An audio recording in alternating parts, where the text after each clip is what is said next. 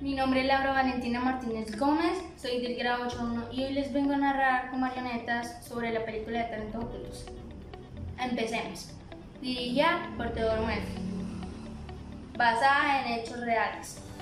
Revela la contienda de tres damas afroamericanas de la NASA que han sido el cerebro de la mega operación en 1961, la cual consistía en lanzar a la órbita al astronauta John Glenn,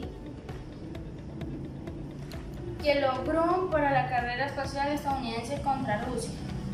El largometraje rememora la narración de la matemática Kathleen Johnson, quien calculó la trayectoria de lanzamiento y aterrizaje del vuelo de Mercurio a la llegada de la Luna Apolo 11 en 1969. La historia inspirada de estas tres damas afroamericanas que conquistan sus derechos y se hacen merecedoras de respeto con un arma contundente de la prodigiosidad de sus mentes.